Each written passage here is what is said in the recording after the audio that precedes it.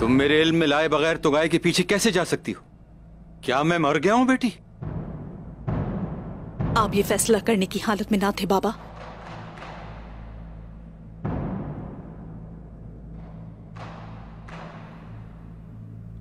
और तुम?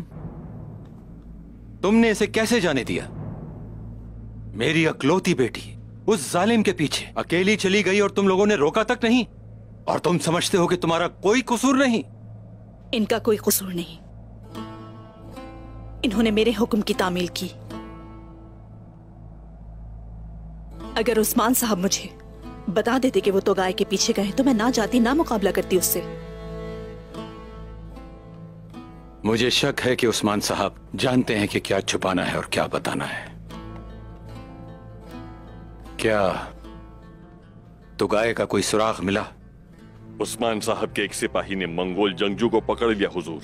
अच्छा। लेकिन वो अब तक कुछ नहीं बोला। वो बोलेगा ज़रूर बोलेगा। बेसुरे सास पर ज़ोर से जरब लगाई जाए तो वो भी सुर में बोल उठता है। वो भी ज़रूर बोलेगा।